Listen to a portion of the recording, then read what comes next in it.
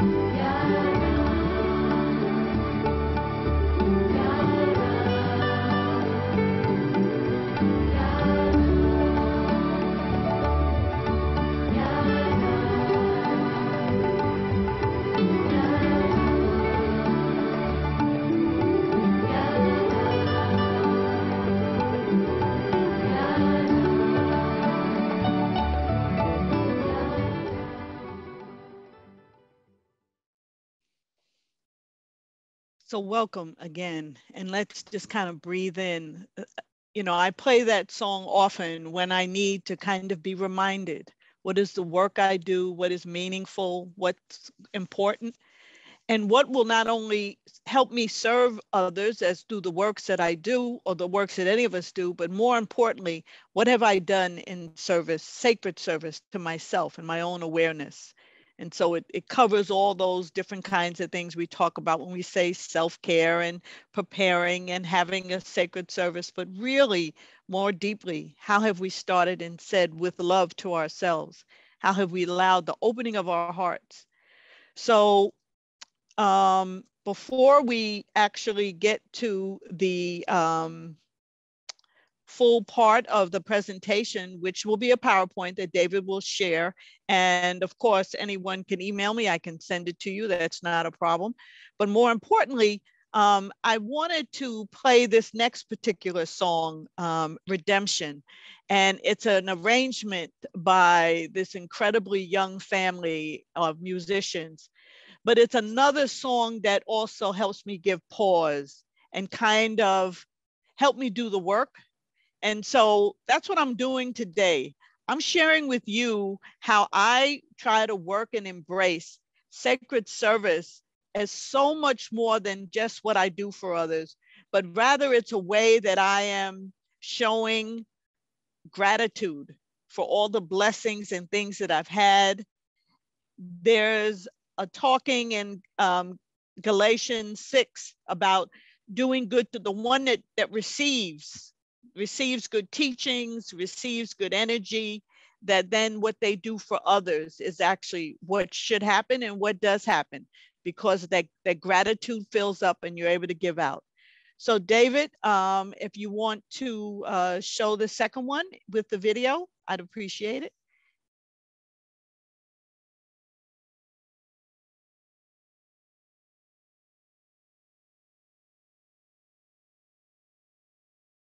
I love music.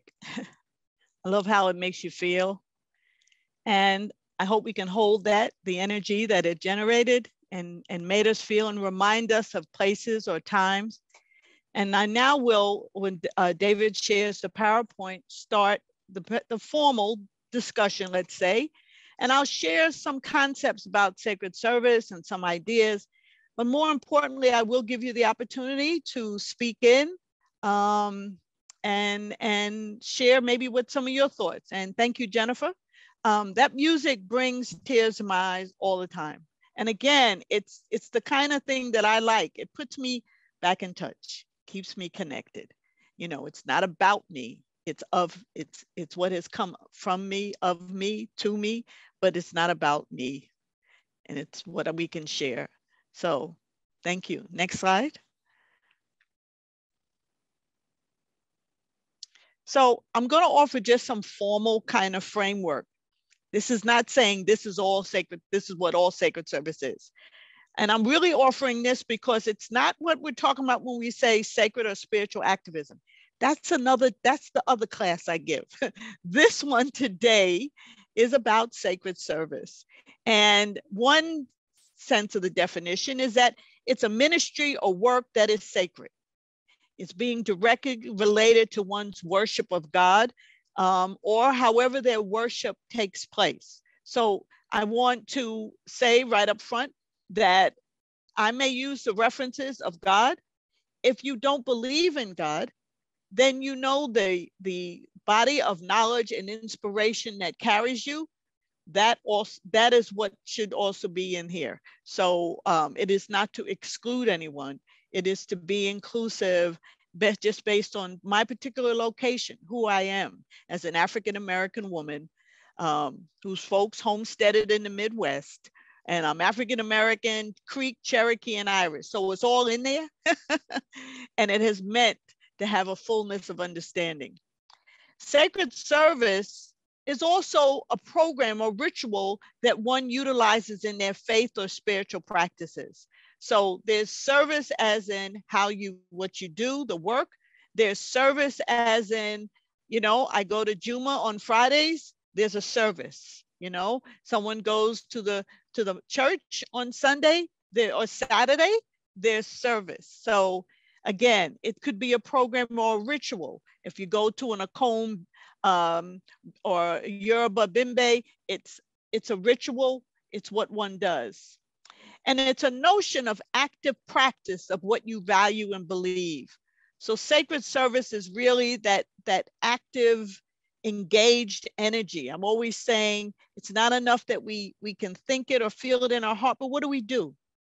How do we, how do we show that? How do we bring it forward?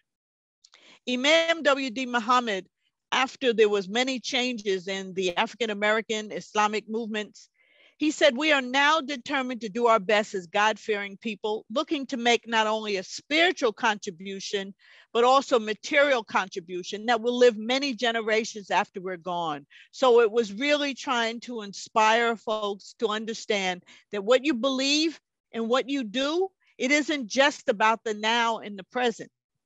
It's it's how is it sustainable and how do you move it forward?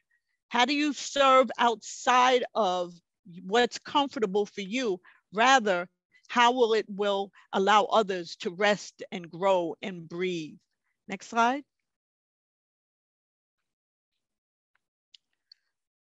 So i particularly like this photograph because of who's in the photograph all right? I think you can recognize who's in the photograph right? And think about the time that these two men you know this obviously was taking before Dr. King made his transition, but think about the influence in the environment um, that these two men connected. How did that shape both of their experiences about the work that they did and, and do? Or, you know, think about how who we associate with is also part of sacred service. Who are the people that inspire us? Who are the ones that help us, you know, figure out is there a path? What should I do? And how do we keep those relationships? You know, there's a couple of people on the on in the gathering tonight that um, Susie's one that you know we we studied together, we we learned together. We only see each other maybe once or twice a year, but there's a relationship there based on the sacred knowledge and instruction and the associations. I think I can say that, right, Susie? So it's to me, that's part of the sacred service. What are your relationships? What are your friendships? Who do you connect with? And in your personal life, how do you understand that all of it is sacred, that everything is sacred? In Islam, we're taught that the earth is sacred, that you could say prayer anywhere. It doesn't just mean the physical hard ground that you can kneel and pray on. Rather, how are you engaging in that time? So, next slide. I'd like to read this quote. David, next slide. Okay, so I, I saw this phrase and engage Buddhism, you know, and a lot of folks that I knew years ago who were beginning to read about Buddhism. I, when I was in high school, I took a comparative religion class. And when we talked about Buddhism, and, and, and I'm not going to tell you when I was in high school, but I will tell you that I'm going to be 70 at the end of March. So you do the math, right? But I remember reading about engaged Buddhism and saying that wasn't the image that I had, but there's an energy just, even if you just put that on a piece of paper, what does that tell you? You know, like, like we were told with civil rights, you know, uh, find a way to get in the way, find a way. Um, Dr. King quoted, he said, Thich Nhat Hanh offers a way out of this nightmare. And think about the cultural and political and historical time period of the, of the 1960s, particularly, um, but offers a way out of this nightmare, a solution acceptable to rational leaders. His ideas for peace if applied, would build a monument to ecumenism, to world brotherhood, to humanity, you know. And so, why do I use this quote? It reminds me what is the sustainable objective here? And how do then do I connect this? Next slide. So, as I said, there are the, some of us who believe that everything is sacred. And I, by the way, I played the uh, Rob or everyone hurts, but everyone also can heal in ways. So everything that exists in this work is inherently ours. And it, it removes the entitled to, that the earth is inherently ours, but it doesn't mean that we can just act like we entitled to it and just soak it up. It means if we have inherited it, we have a responsibility. So sacred service has this energy of, of activism or engagement, and just as importantly, responsibility. It's that constant engagement when being with, beginning with the sacred. So if you begin with your prayers or your rituals, understand that the energy, that your prayer is not just spoken from your tongue, but from your heart. So the sacred service starts actually in your heart. And and this is something my father always said. He was an Episcopal deacon. He said, You're not just going to wake up and know. he said, You have to put the time in. He said, You have to self reflect, you have to study, and you have to, in doing so, you're bringing the divine closer. And I think that, you know, all the work that's done at One Spirit through the seminary and the spiritual companioning and the workshops and the electives, it's bringing the divine closer and it allows us the greater self-reflection. And that is like an incredible example of sacred service. The institution creates this environment that people can come from multiple paths, energies, experiences, and identities. And the bottom line, and this is one that my mother would always say to me stay aware that you're on a journey that you are on a journey, not that you've arrived, not that you're going to get there, it, that you are on a journey. And so, there in bringing the divine closer, how does that journey? What happens? And then, how do you serve others? How do you serve yourself? What is the nature of the relationships you're in? And how, and how do you treat everybody? That you're not entitled to this sacred place called earth you've inherited with the responsibility. Next slide. So, and this is another one that I loved. I was reading um, uh, some other, for another course, I was reading information on Nelson Mandela. And he was asked many times, why was he not bitter after all that he endured? and he his quote was you have a limited time on earth you must use that time to transform the earth to me that's part of our understanding of sacred service. We're not here forever. What is it that we will do? Um, where how will you be accountable to yourself you know? Next slide.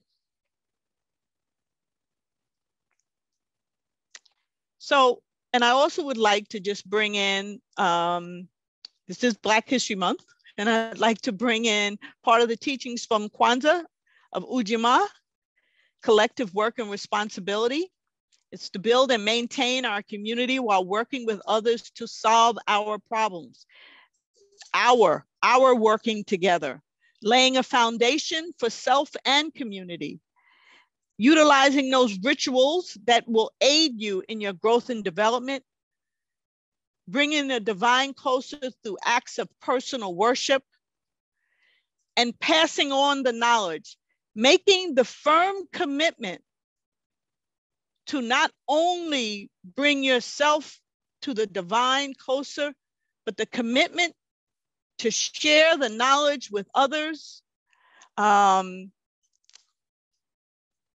there's a, a, a quote I forget which part of the Bible. It said, generous persons will prosper. Those who refresh others will themselves be refreshed, whether it's companionship, leaders, or instructors. So it's, it's making that commitment, that firm commitment. Next slide. You know, we were a lot of people just learned when Bell Hooks made her transition. Some people really weren't aware of all her teachings, but I remember back in the 1980s when I was trying to figure out, as I would say, the spelling of my name and what was my purpose? What could I do? And Bell Hooks um, was one of the authors that that really made me sit and pause. And one of the things was that she didn't use capital letters on, on her first name. You know, she Bell, small letter B. And it, it made a lot of people sit back and, well, how can you do that? You know, her quote that I like particularly is beloved community is formed not by the eradication of difference, but by its affirmation. By each of us claiming the identities and cultural legacies that shape who we are and how we live in the world by each of us claiming the identities and cultural legacies that shape who we are. So I am all the things I am because you are all the things you are. And then we share and we extend the knowledge. To me, that brings us closer to the divine. Next slide.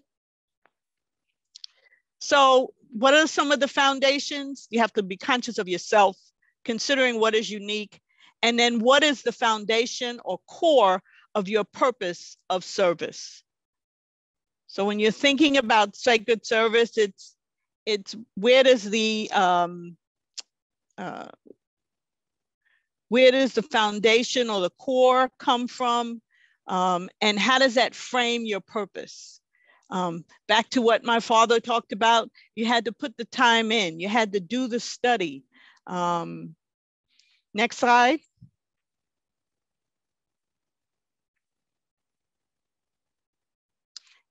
So part of sacred service, um, and I like this quote about empathy.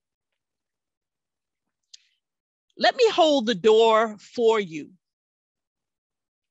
I may have never walked in your shoes, but I can see your souls are worn and your strength is torn under the weight of a story I have never lived before.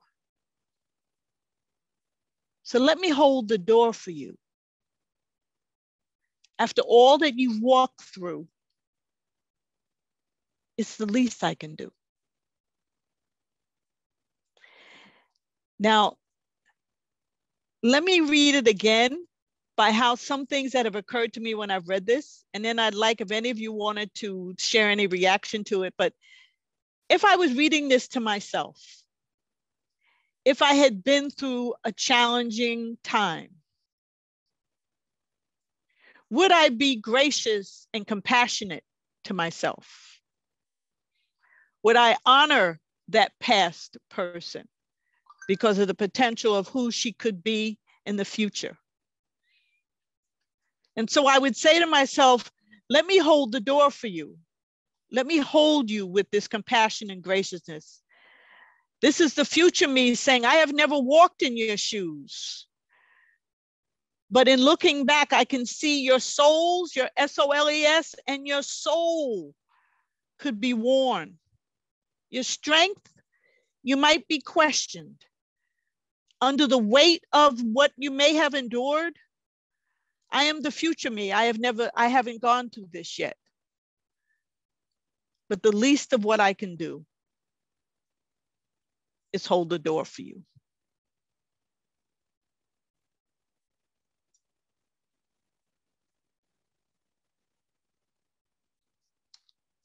Next slide.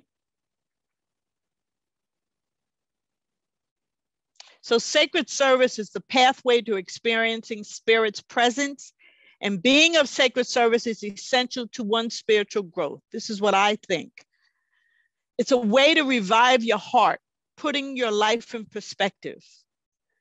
I love one spirit and what I've learned because it I did experience a, rev, a, a reviving of my heart, an opening of my heart.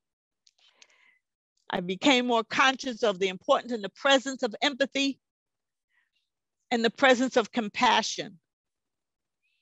Through the teachings of Allah, through the teachings of God, think of me through mercy and compassion. And that's why, as Muslims, we begin every every prayer with Bismillah Rahman Rahim, God the most compassionate, the most merciful, to just be present with the presence of compassion. Next slide.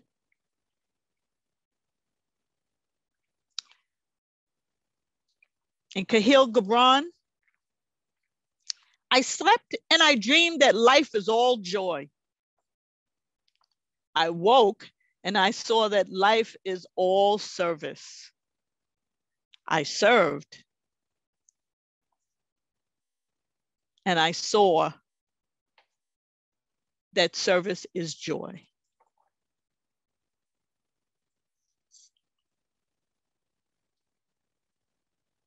Next slide. So here's where I'd like to hear from you. Um, you know, who are some of the individuals that may exemplify sacred service to you or what you've had any reflections or thought after what I've shared with you? Anything, any feelings?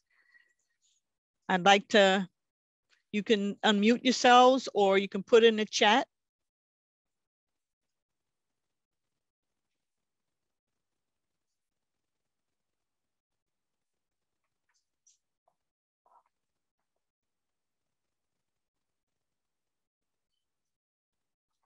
Diane Burke, you are listed as one of the people who has inspired.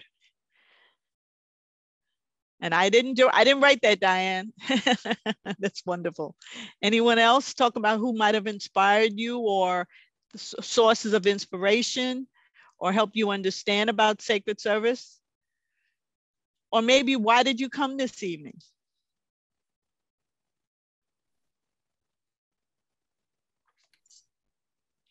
Well, we'll go to the, let's see, um, David. Oh, you can unmute yourselves. Yes. Um, I don't remember how to raise my hand. Okay, that's fine. We go ahead. Um, uh, the model for me of sacred service is my grandfather, who was a Reform rabbi uh, in the 20s, 30s, 40s, and fought for the Jews of Europe who were being massacred and became a diplomat to defend them and uh, human rights. And I've transformed that into serving the most vulnerable children orphaned by AIDS and now setting up to serve children who are being affected and bereaved by COVID.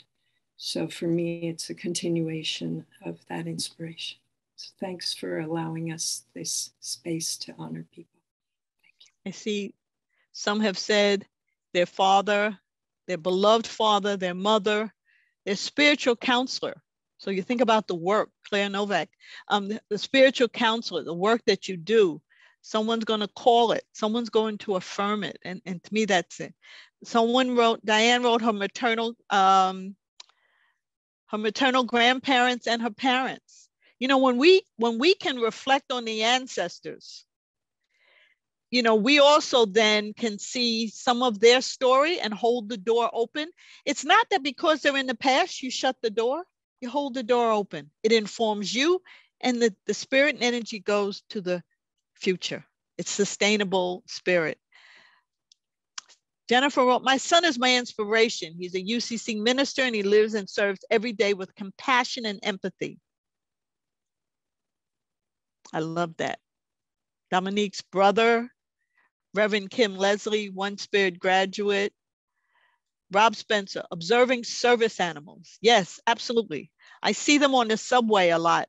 And some of them, there, there's so much wisdom when you look in some of the, like I see the dogs, and when you look in their eyes and they look at you, and you know, you don't say anything to them, but the dog looks at you and his the dog spirit greets you. It's like, I see you see me.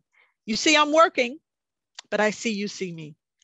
And the energy and the love that comes. Um, the only time I had a dog really kind of nudge me was because I had just come back from the kosher deli and I had a shopping bag filled with um, Franks and Knish and uh, uh, beets and uh, uh, chopped liver. And he just kept nudging the bag like, is that for me? so um, I I I kind of always hold and laugh at because that's where you take the joy. Um, and offering love to animals in their final years. Um, there's just nothing, nothing like that because they're not asking for much more than just to be, to be held. Um, the members of Interfaith United, an organization we started in Central Florida. Thank you. And the reason why I'm asking you just to put in because when we bear witness, and you know, in Islam, it talks about when you bear witness and call someone's name, when you acknowledge the works of someone, when you remember with love or even with the lessons of someone, that means that their, their energy will always influence. So call the names, acknowledge the folks, acknowledge the institutions that are really shaping and can make the difference. Um, Diane says the people she's read about on Facebook, right? I know Diane loves the animals, she loves the lions, but it's the people that do the work, the ones that we can see about on Facebook. Um, that that's when Facebook can be a good thing, right? And um, fellow hospice workers. Rob Spencer works with hospice workers, and it's not easy, you know, and, and I can attest, having been an on-call chaplain and also having to serve with the hospice care for my child. It's not easy, but you know, there is like a grace in that work. There, there, I felt closer to Allah than I ever did when I served in that capacity. Not because I was a parent, but because I was allowed to witness the beginning of an eternal journey. Next slide. Archbishop Tutu, His Holiness, Dalai Lama, Thich Nhat Hanh, Dr. King, all the frontline folks. That's right. Thank you, Diane. Absolutely. Because how much of their teaching you can go back to and you could read it today and you would think they wrote it today. That's that's when the sacred is really working. That's when it, that pot, you know, jambalaya tastes good when it's the, the third day, not the first day. It's the second and third day that is rocking. Okay. So, um, whether we would have this discussion, I would want you to um, really think about what in your life is sacred service? Uh, Dorothy Day, thank you. What could actually be a form of numbing? So sometimes, you know, you'll you'll think that you're being of service, but what are you not really holding accountable and dear? That responsible aspect. What serves you at the expense of others, and also we have to think about the language and the frame and the lens to make sure that we don't perpetuate any forms of oppression or colonization. So when we are understanding that we are serving is not I have come to rescue you. Rather, I have come because I need to be rescued. And in serving you, I witness your growth and your transition. Are there any other last, are there any other comments anyone would like to make? And uh, but in the meantime, because you think of things, feel free to put in the chat or we, you can also unmute yourself. But now we're going to listen to some more music. Um, this one is by Gregory Porter and it's called I Will.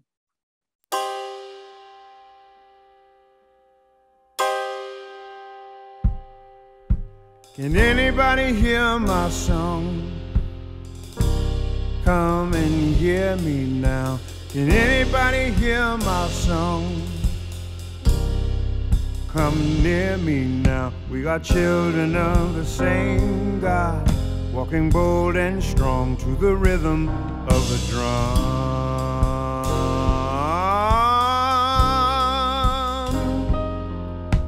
Can anybody feel my love? cause it's cold outside. Can anybody feel my love? Has your well run dry? They are soldiers of the vain God, walking bold and strike to the rhythm of the gun.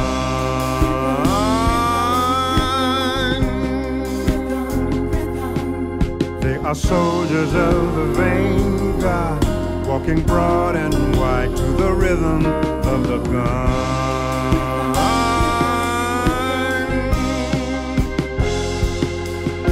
There's a river I'm looking for with a source high and far away.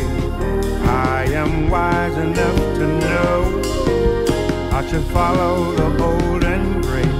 I have sold my things of value just to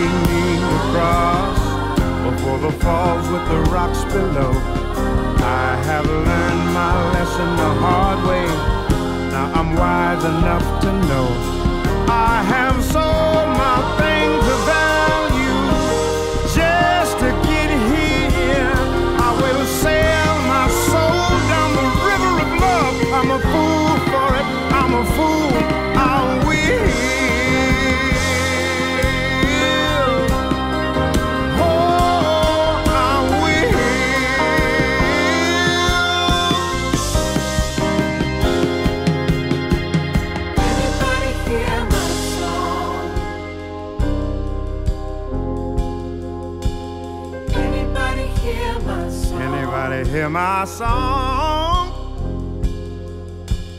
Anybody feel my love? Can you feel my love? Anybody feel my love? We are children of the same God, walking bold in stride to the rhythm of the drum. To the rhythm of the drum. To the rhythm of the drum. Oh. Can anybody hear my song? Can anybody hear my song?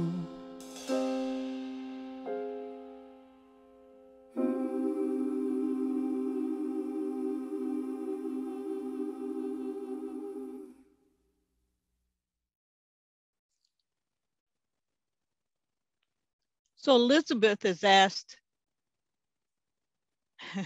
Susie likes my music. Thank you.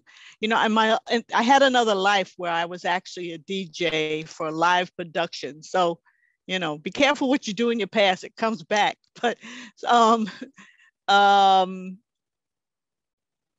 Elizabeth Brown would like to hear from some of you that, like, uh, let's see, let's see. Well, she was asking for folks to be able to say, you know, um, what they may have done in terms of service, you know, what some examples of that. Um, oh, that was Jennifer. I'm sorry. Jennifer was talking about, I would love to hear how some of you serve in your day to day lives. I am reinventing myself after taking care of my mom for nine years. I want to serve others, but I am not sure how to do that. So, does anybody want to share any ways in which they serve in their daily day to day or give any response or acknowledgement of her sharing? Thanks, David, for unmuting me. Um, I said earlier that uh, going to One Spirit was the best thing I ever did for myself. And that is because I am in service, because of all that I learned while I was attending. I continued through the spiritual counseling program, and our beloved Joyce Liechenstein helped me find my voice so that I could hold space, particularly for parents and couples, as I uh, offer spiritual counseling for them. And I do that every day. especially during COVID. Uh, I am in service, and it's it's been a gift to me and to them. Thank you. Um, anyone else would like to share?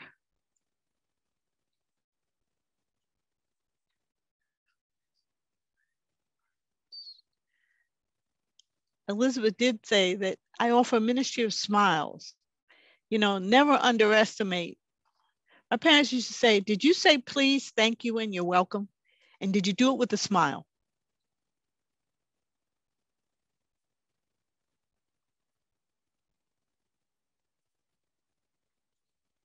And so Jean indicated Rumi, Hafiz, John O'Donohue. I mean, we could read those over and over. I see Megan, uh, you have your hand raised yourself or? Yeah, I'd, I'd be happy to share. Megan, you, as well um, what a what a beautiful question um, i'm a first year seminary student at one spirit and when i came to seminary i found out about one spirit in action which is an affinity group part of one spirit that does amazing sacred activism work. So i dived dove into that with two feet at the beginning um, of my seminary experience and it's been such a beautiful way to serve. We're focusing right now on the beloved community of our brothers and sisters who are incarcerated and looking at some of the intersectionalities there. And and for me getting started in that service it really helped to join a group or have an organization with amazing leadership and those who could kind of shepherd me into that service because I think I was in a similar position and just searching for a way to be to be more of service. So I think um, for me, sacred service with others and as part of a community is is so rich and rewarding. So I just wanted to share that. And Thank you're you. always welcome in One Spirit in Action. Thank you.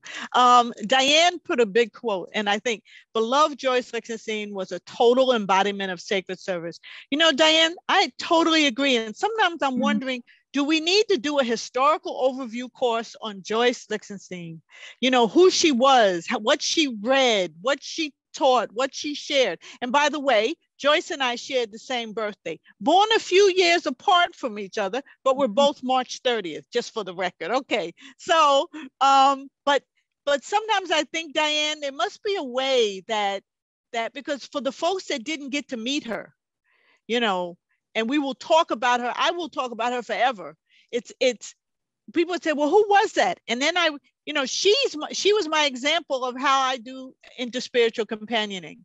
I would come to someone and say, well, have you read this? let's read it together. Let's let's explore it together. So um, thank you, Diane, for giving me goosebumps at just the love that I had for Joyce. So Yeah, I, Diane, I actually, yeah, I would love to lift up one particular dimension of Joyce's sacred service that we don't always necessarily think of as sacred service. But I knew Joyce for since the the early 1980s. Hmm. So she was in my life for quite a while before we each became involved in interfaith, interspiritual ministry. And the one thing I can say is that in all that time, I never heard Joyce say a negative word about any other human being. I never heard her criticize.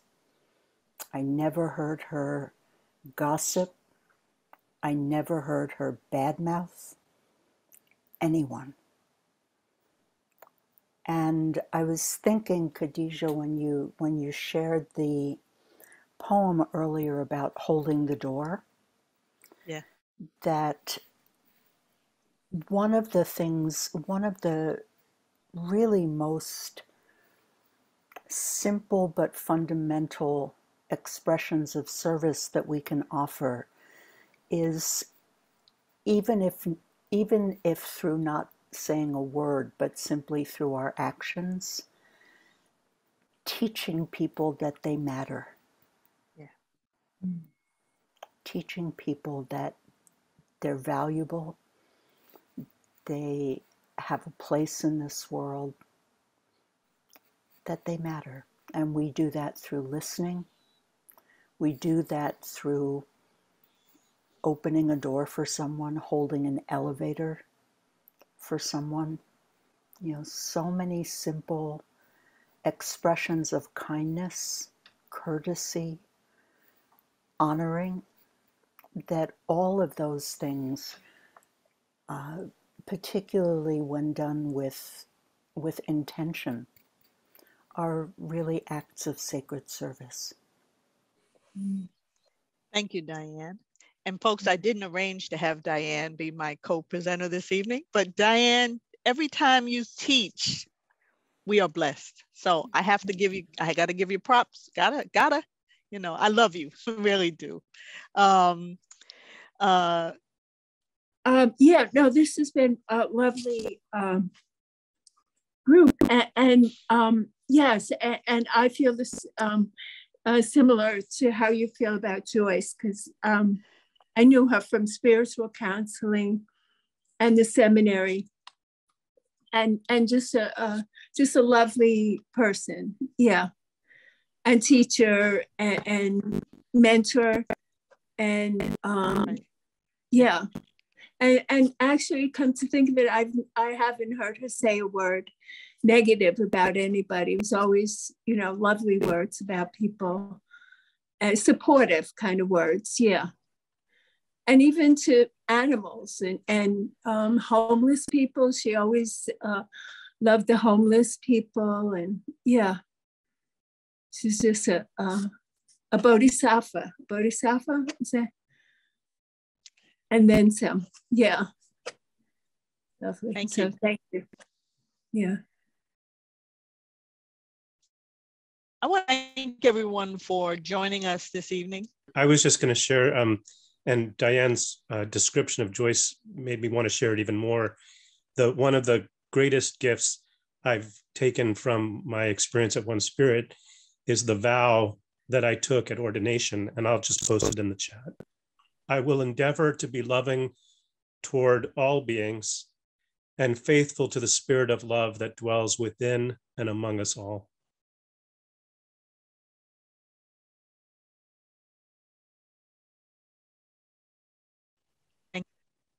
Anyone else?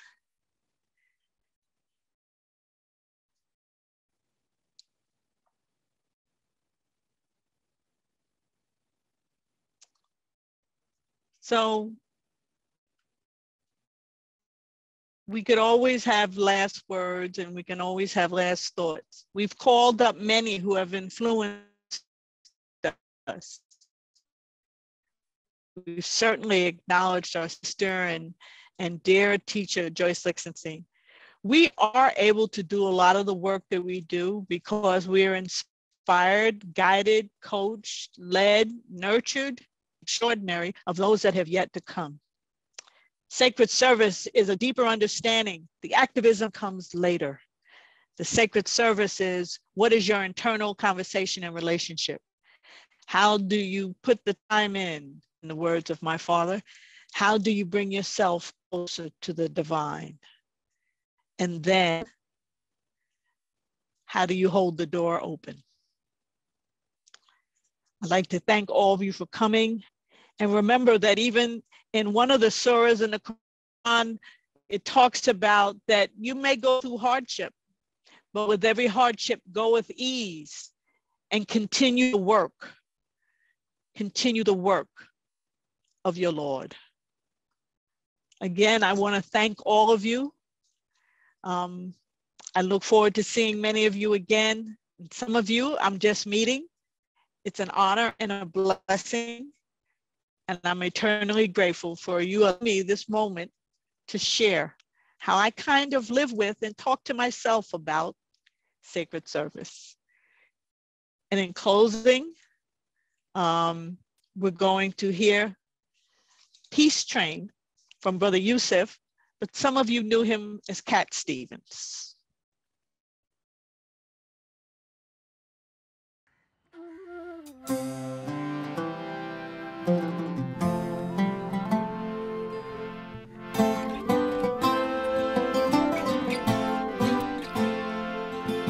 Now I've been happy lately, thinking about good things to come. And I believe it could be something good has begun. Oh, I've been smiling lately, dreaming about the world as one, and I believe it could be someday it's gonna come. Cause I'm on the edge of darkness. There rides the peace train. Oh, peace train, take this country. Come take me home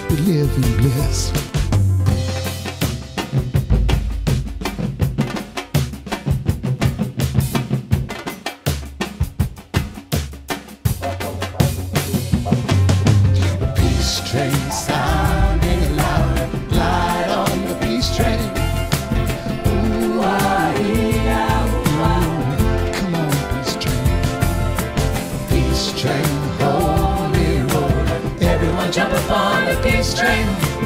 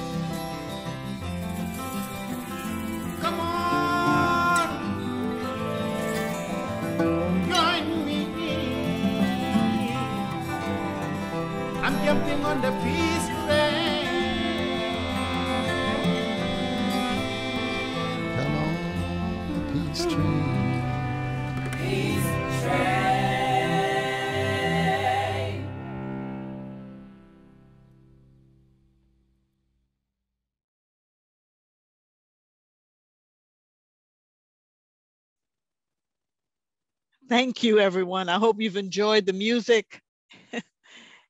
and I look forward to seeing you again on the Peace Train. Everybody wave.